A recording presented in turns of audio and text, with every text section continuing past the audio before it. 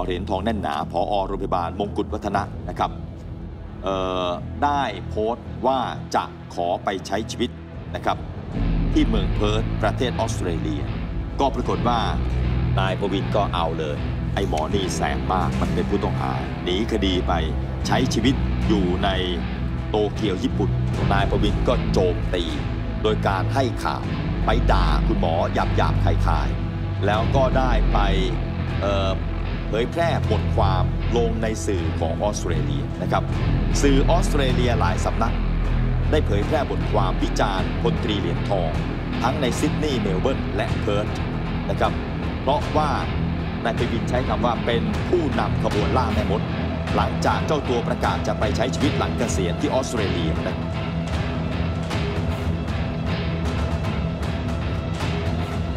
มีเรื่องราวของคุณหมอเหรียญทอง นายประวิน ไอหมอนี่แสบมาก มันเป็นผู้ต้องหานะฮะหนีคดีไปใช้ชีวิตอยู่ในโตเกียวญี่ปุ่นนะฮะก็ยังแปลกใจว่าทำไมทำไมคนที่นั่นทำไมมหาวิทยาลัยเกียวโตเนี่ยนะฮะจึงรับมันเข้าไปเป็นเข้าไปเป็นนักวิชาการได้นะครับ แต่ว่าเรื่องเนี่ยมันเกิดขึ้น เพราะว่าเเมื่อหลายอาทิตย์ก่อน คุณหมอเหรียญทองแน่นหนาผอโรงพยาบาลมงกุฎวัฒนะนะครับ ได้โพสต์ว่าจะขอไปใช้ชีวิตนะครับที่เมืองเพิร์ธประเทศออสเตรเลียนะลูกๆก็ประสบความสำเร็จแล้วนะครับ ลูกคุณหมอ 3 คนเก่งมากนะครับ ก็จะช่วย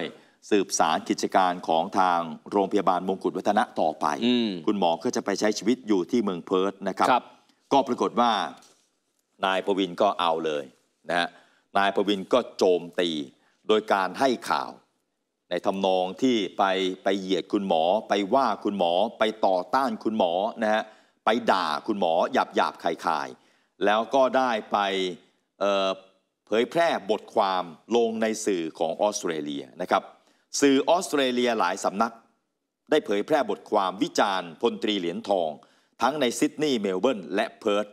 นะครับ เพราะว่านายปวินใช้คำว่าเป็นผู้นำขบวนล่าแม่มด หลังจากเจ้าตัวประกาศจะไปใช้ชีวิตหลังเกษียณที่ออสเตรเลียนะครับเนื้อหาก็ประมาณว่านะครับสื่อออสเตรเลียหลายสำนัก ได้ตีพิมพ์บทความวิจารณ์พลตรีนายแพทย์เหรียญทองแน่นหนานะครับลงหน้าหนึ่ง ทั้ง Sydney Morning Herald The Age โดยมีเนื้อหาเกี่ยวกับพฤติกรรมของคุณหมอเหรียญทอง ที่เป็นผู้นำขบวนการล่าแม่มดบุคคลต่าง ที่แสดงความเห็นเกี่ยวกับสถาบันกษัตริย์ โดยใช้กฎหมายหมิ่นพระบรมเดชานุภาพมาตรา1นึเป็นเครื่องมือดำเนินคดีทางกฎหมาย รวมถึงใช้มาตรการทางสังคมบีบบังคับ กดดันนายจ้าง ให้เลิกจ้างงาน คนที่ตกเป็นเหยื่อ ลดทอนความเป็นมนุษย์ของผู้เห็นต่างทางการเมือง ในบทความมีบทสัมภาษณ์ผู้ลี้ภัย ไทยสองคนในออสเตรเลียที่เป็นผลมาจากการกระทำของคุณหมอเหรียญทองนะครับนายประวินโพสต์ว่าสื่อออนไลน์ท้องถิ่น ตีพิมพ์บทความวิจารณ์หมอเหรียญทองนะครับ มีสื่อออนไลน์สำนักนี้มีความสำคัญตรงที่ตั้งอยู่ในเมืองเพิร์ธซึ่งเป็นเมืองที่คุณหมอเหรียญทองจะไปใช้ชีวิตหลังเกษียณนะครับ แล้วก็ยังบอกว่างานประท้วงนะครับด่าคุณหมอเหรียญทอง จะมีที่ซิดนีย์แล้วก็จะมีช่องสื่อบางช่องไปทำข่าวนะครับ เท่านั้นแหละฮะ คุณหมอเหรียญทองก็ได้โพสต์ข้อความใน Facebook ว่า เพื่อนทนายความชาวออสเตรเลียนะครับแนะนำให้ผมฟ้องเรียกค่าเสียหายจากกรณีที่นาย Chris Barrett นักข่าวหนังสือพิมพ์ Sydney Morning Herald ได้เขียนบทความหมิ่นประมาทให้ร้ายใส่ความเท็จ ลงในหนังสือพิมพ์ Sydney Morning Herald เช้าวันที่ 5 ธันวาคมเมื่อวานนี้ และให้คำแนะนำว่าให้ผมประเมินความเสียหายเป็นตัวเงินจากค่าแรงเป็นชั่วโมง ซึ่งประมาณแล้วผมเป็นประธานเจ้าหน้าที่บริหาร โรงพยาบาลมงกุฎวัฒนะ มีอัตรา 200 ออสเตรเลียนดอลลาร์ต่อชั่วโมง นับจากวันเวลาที่บทความนี้ถูกตีพิมพ์ เมื่อเวลาตีห้าของวันที่ 5 ธันวาคม จนกว่าบทความนี้จะถูกถอด คุณหมอจะฟ้องเรียกค่าเสียหายเป็นรายชั่วโมง ชั่วโมงละ 200 ออสเตรเลียนดอลลาร์นะครับจากบทความบินประมาทให้ร้ายนี้นะครับ โดยในคริสบาร์เรตกฎหมายต่างประเทศ ไม่ได้ให้สิทธิเสรีภาพต่อสื่อมวลชน ที่จะกระทำการใดตามอำเภอใจละเมิดสิทธิโดยการกล่าวเท็จที่ไม่สามารถพิสูจน์ความจริงได้ทำนองเดียวกันทนายความฝ่ายไทยก็แนะนำให้ดำเนินคดีอาญาต่อศาลไทยด้วยนะครับ ต่อผู้กระทำความผิดทั้งนายคริสบาเลตนายประวิน นายกฤตนัยนายพิสารด้วยนะครับ นี่ครับ คุณหมอเหรียญทองก็จะฟ้องนี่แล้วก็ นายประวินนะครับ บอกว่าเดี๋ยวคุณหมอเหรียญทองไปอยู่ที่เออออสเตรเลียเนี่ยจะมาต่อต้าน จะมาต่อต้าน แล้วก็พูดประมาณว่าที่ออสเตรเลียเนี่ยไม่มีกฎหมายมาตรา1นึให้คุณหมอใช้แล้วนะเออ แล้วก็พูดจาหยาบคายครับขึ้นไอ้ขึ้นอีนะด่าด้วยนี่แล้วก็บอกว่าคุณหมอเหรียญทองนั้นละเมิดสิทธิความเป็นมนุษย์ กดดันให้คนที่ตกเป็น ผู้ต้องหาคดีมาตรา1นึเนี่ยเอ่อให้ตกงานบริษัทให้ออกนะก็ถามหน่อยอะคนที่เจ้าของบริษัททั้งหลายนะหรือว่าเจ้าขององค์กรโรงงานทั้งหลายเนี่ยถ้าเกิดบริษัทคุณเนี่ยมีพนักงานเป็นคนที่ต้องคดีมาตรา1นึเนี่ยนะฮะคุณจะสบายใจให้เขาทำงานในบริษัทคุณไหมใช่ไหมฮะอืมอะคุณหมอไม่ต้องไปกดดันแล้วฮะเอาใจเขามาใส่ใจเรา สมมุติว่าท่านผู้ชมเนี่ยเป็นเจ้าของธุรกิจ เป็นเจ้าของบริษัท แล้วแล้วท่านผู้ชมเห็นนะฮะว่าพนักงานของคุณเนี่ยไปเผาภาพพระบรมฉายาลักษณ์นะฮะอืมไปเคลื่อนไหวมาตรา1นึไปขัดขวางขบวนเสด็จนะไปต่อต้านนะฮะในวันมงคลของเราวันที่5ธันวาคมแบบเนี้ยคุณจะสบายใจไหมที่โรงงานคุณบริษัทคุณเนี่ยมีพนักงานแบบนี้นะฮะก็เหมือนกันนะฮะ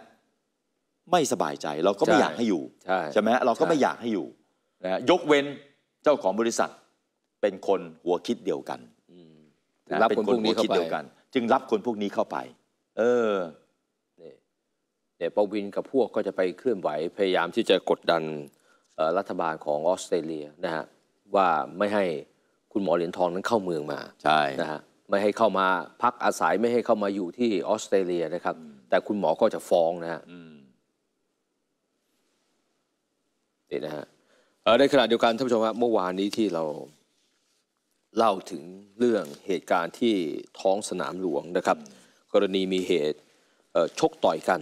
บริเวณสนามหลวงฝั่งสารดีกานะครับของกลุ่มคนรักสถาบันซึ่งไปเฝ้ารอรับขบวนเสด็จ แล้วก็ปรากฏว่ามีกลุ่มคนที่ปั่นป่วนนะพยายามจะบุกเข้าไปนำโดยนายสายน้ำอืมนี่นะฮะนายสายน้ำที่สุดแล้วก็เกิดการชกต่อยกัน แล้วก็แชร์กัน หึ่มเลยฮะว่าสายน้ำถูกทำร้ายร่างกายถูกชกนะฮะปรากฏว่าในเพจ Facebook ประชาพักพิทักษ์สถาบัน เขาโพสต์คลิปให้ได้ดูครับนะฮะแสดงให้เห็นว่าผู้ชายที่สวมชุดสีดำสะพายกระเป๋า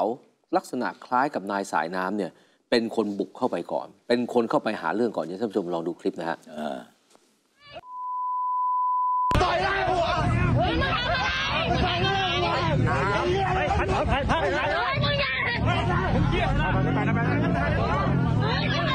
อ่า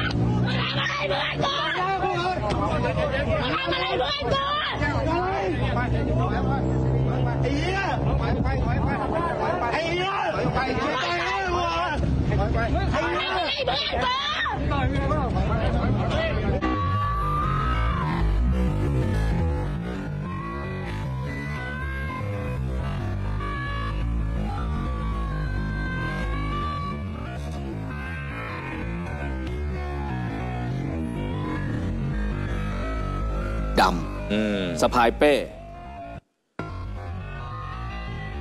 อ่าเห็นไหม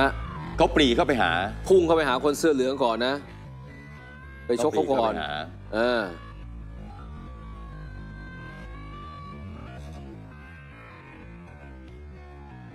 นี่เห็นไหมแล้วเสร็จแล้วก็ตัวเองก็พลาด ถูกชกหน้าแหกมา นี่นะครับ แล้วเขาก็ไปตรวจร่างกายจะไปฟ้องอะไรต่อไปก็ว่ากันเขาไปนะฮะ แต่ เอ่อเพจนี้เขาเอามาให้ดูว่าเนี่ยใครเป็นคนเปิดก่อน ใครเป็นคนเข้าไปก่อน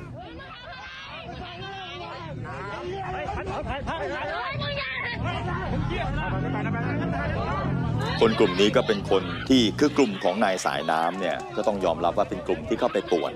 ใช่ในพื้นที่ใช่ที่เขากำลังเอ่อรับเสด็จนะครับ ผู้คนเขาใส่เสื้อเหลืองกันนะฮะกลุ่มของคุณเนี่ยใส่เสื้อดำใช่แล้วก็เจตนาเข้าไปป่วน นะครับ ก็ถือว่าเออมันก็ไม่ต้องวิพากษ์วิจารณ์อะไรกันมากนะฮะอืมส่วนเรื่องการใช้ความรุนแรงชกต่อยกันก็ว่ากันไปตามตามเรื่องตามราว ให้ตำรวจมาสะสางซะนะฮะใช่นี่สายน้ำอย่ามาบอกว่าพวกผมเนี่ยเดินเข้าไปท้องสนามหลวงไปในบริเวณนั้น พวกผมเนี่ยไม่ได้ทำทำอะไรเลยนะ